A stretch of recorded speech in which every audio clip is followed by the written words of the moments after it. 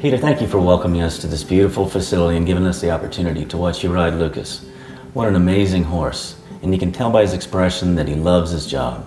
Is there anything you can tell us about what it takes to care for an amazing athlete like Lucas? Right from the beginning, Lucas has always been naturally careful, had a great expression when he's jumping and competing in the ring. I maintain his fitness here by using the polo field, which we have at this facility. If and when I need to jump him, we're able to use the uh, sand arena, which has silica sand footing in.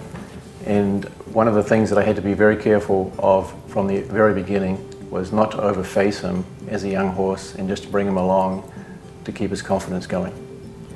Well, your technique has sure worked, and thanks so much for having us out here today. We really appreciate it, Peter. Sure, you're very welcome.